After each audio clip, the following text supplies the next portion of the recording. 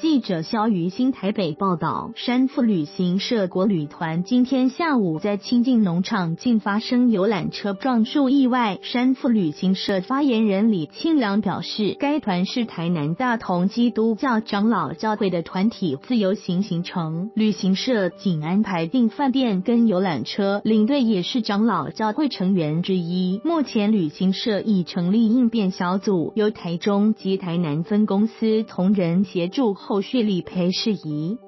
李清良说，该团今天上午在福寿山农场，原预计要到普里酒厂，没想到却在路上发生意外，其中伤重不治的领队是长老教会成员之一。李庆良说，游览车是与高雄嘟嘟车业者合作的车辆，于二零一四年制造的车辆是新车，且考量到亲近农场，路程多为山路，行前也特别安排有经验的司机，没想到仍发生憾事。至于车上乘客是否有系安全带，仍需进一步确认。李庆良说，该团已投保法定的两百万旅游平安险，公司内部并成立应变小组，赶往现场提供医疗救援，并协助家属处理相关事宜。